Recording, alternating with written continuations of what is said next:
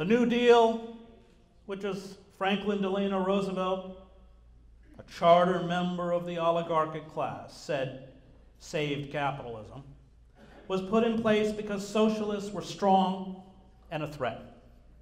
The oligarchs understood that with the breakdown of capitalism, something I expect we will witness in our own lifetimes, there was a real possibility of a revolution. They were terrified they would lose their wealth and power.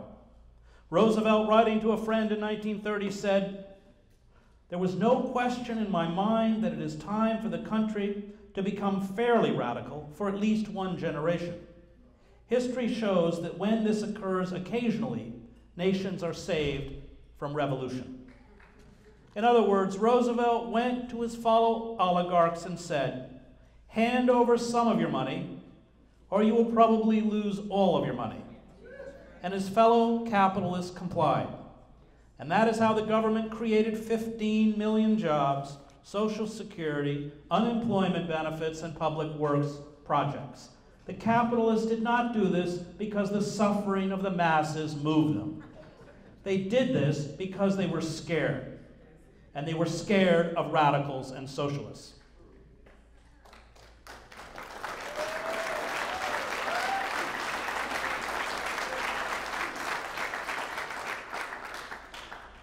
We must stop looking for our salvation in strong leaders. Strong people, as Ella Baker said, do not need strong leaders.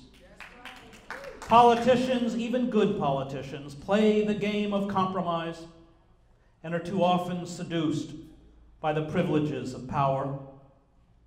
Sanders, from all I can tell, began his political life as a socialist in the 60s when this was hardly a bold political statement, but quickly figured out that he was not going to have a seat at the table if he remained one. He wants his seniority in the Senate. He wants his committee chairmanships. He wants his ability to retain his Senate seat unchallenged. And no doubt this was politically astute, but in the process, he sold us out. Jeremy Corbyn, the new head of the Labour Party, offers another example. He spent three decades marginalized, even within his own party, because he held fast to the central tenets of socialism.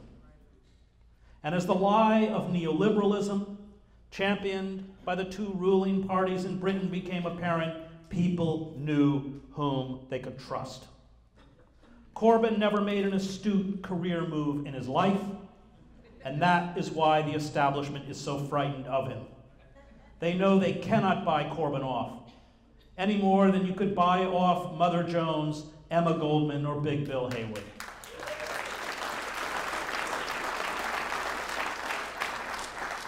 Integrity and courage are powerful weapons, and we have to learn how to use them.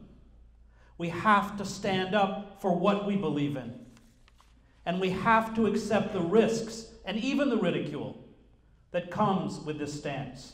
We will not prevail any other way. As a socialist, I am not concerned with what is expedient or what is popular. I am concerned with what is right.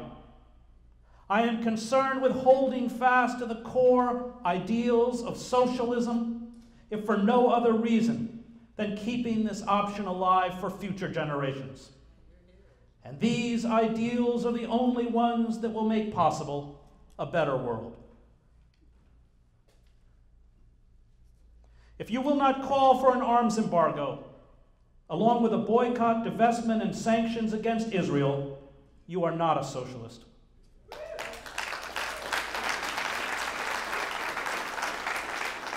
If you will not demand we dismantle our military establishment, which, after all, is managing the government's wholesale surveillance of every citizen and storing all our personal information in perpetuity in government computer banks. And if you will not abolish the for profit arms industry, you are not a socialist.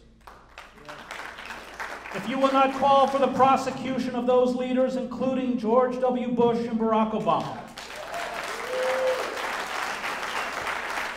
to engage in aggressive acts of preemptive war, which under post Nuremberg laws is a crime of aggression, you are not a socialist. If you will not stand with all of the oppressed across the globe, you are not a socialist. Socialists do not pick and choose whom among the press, oppressed it is convenient to support. Socialists understand that you stand with all of the oppressed or none of the oppressed. That this is a global fight for life against global corporate tyranny.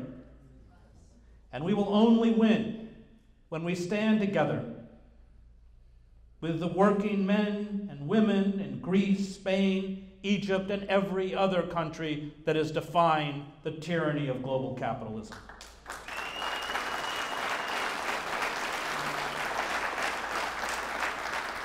If you will not call for full employment and unionized workplaces, you are not a socialist. If you will not call for inexpensive mass transit, especially in impoverished communities, you are not a socialist. If you will not call for universal single payer health care and a banning of the for profit health care corporations, you are not a socialist. If you will not raise the minimum wage to $15 an hour, you are not a socialist. If you are not willing to provide a weekly income of $600 to the unemployed, the disabled, stay at home parents, the elderly, and those unable to work, you are not a socialist. If you will not repeal anti union laws like the Taft Hartley Act and trade agreements from NAFTA to the TPP and CAFTA, you are not a socialist. If you will not support two years of paid maternity leave, as well as shorter work weeks with no loss in pay and benefits, you are not a socialist. If you will not repeal the Patriot Act and Section 1021 of the National Defense Authorization Act, as well as end government spying on citizens, along with mass incarceration, you are not a socialist.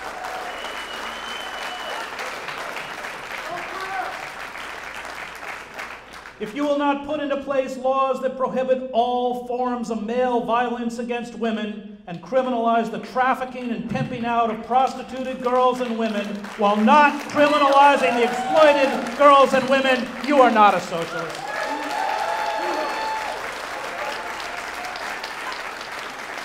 If you do not support a woman's right to control her own body, you are not a socialist. If you do not support full equality for GBLT community, you are not a socialist.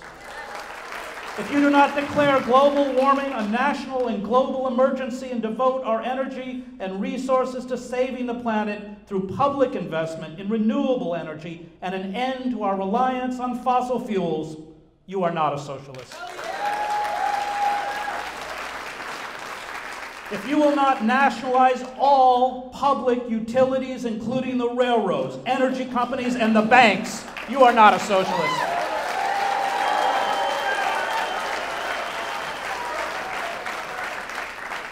If you will not support government funding for the arts and public broadcasting to create places where creativity, self expression, and voices of dissent can be heard and seen, you are not a socialist. If you will not terminate our nuclear weapons program and build a nuclear free world, you are not a socialist. If you will not demilitarize our police, and this means that police no longer carry weapons when they patrol our streets.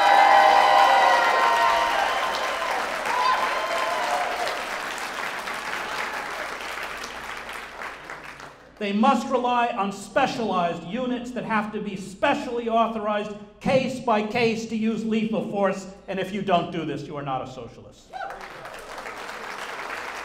If you will not support government training and rehabilitation programs for the poor and those in our prison system, along with the abolition of the death penalty, you are not a socialist. If you will not grant full citizenship to undocumented workers, you are not a socialist. If you will not declare a moratorium on foreclosures and bank repossessions, you are not a socialist. If you will not provide free, state run mental health care, especially for those caged in our prisons, you are not a socialist. If you will not provide government funded education from daycare to university and forgive all student debt, you are not a socialist. And finally, if you will not dismantle our empire and bring our soldiers and Marines home, you are not a socialist.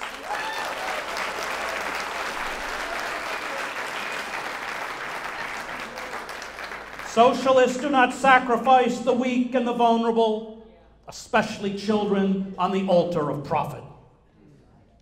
And the measure of a successful society for a socialist is not the GDP or the highs of the stock market but the right of everyone, especially children, never to go to bed hungry, to live in safety and security, to be nurtured and educated, and to grow up to fulfill his or her potential.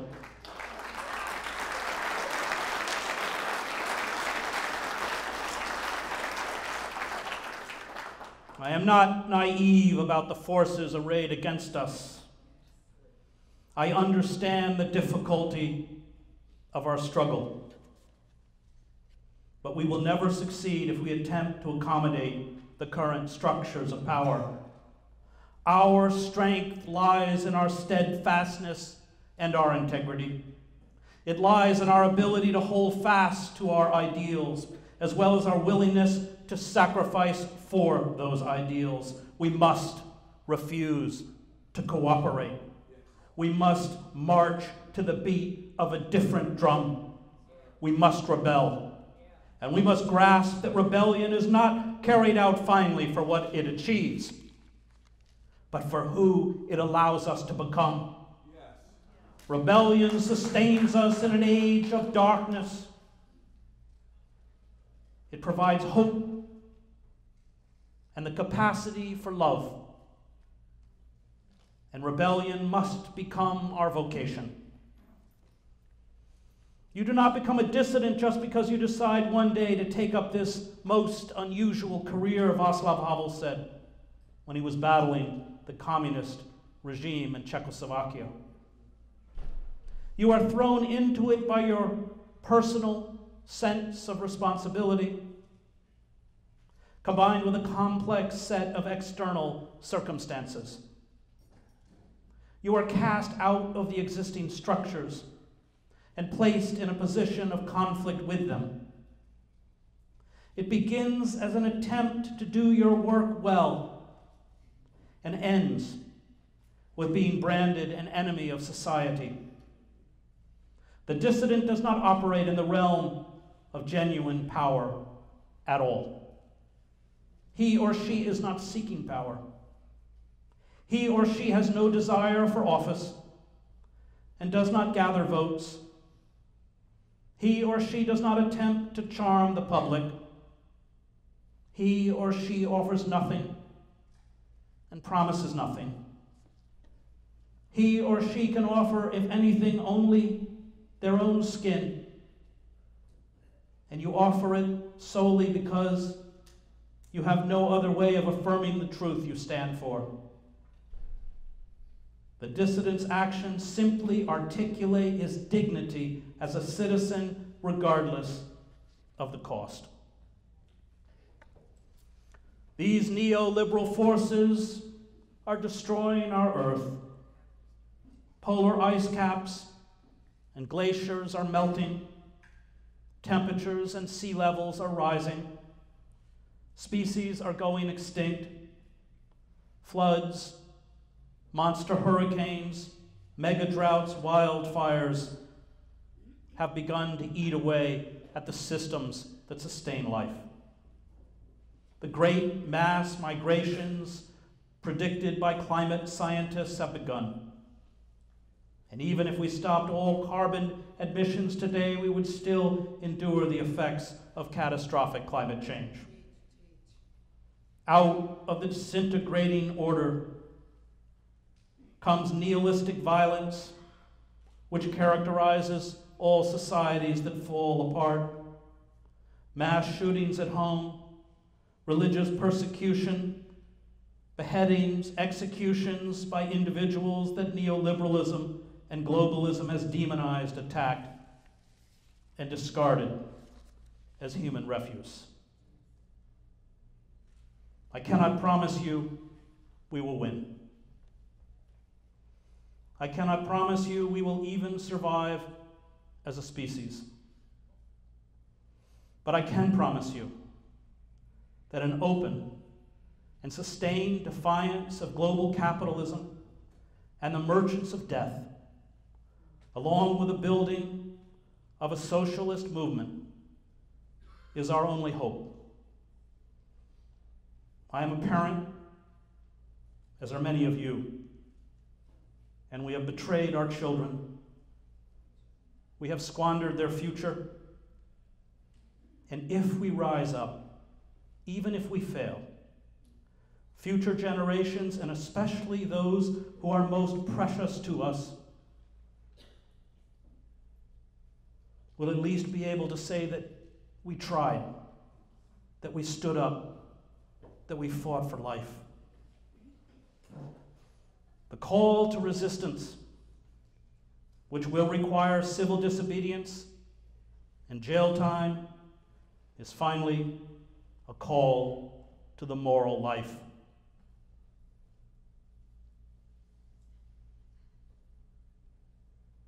In the end, I do not fight fascists because I will win. I fight fascists because they are fascists.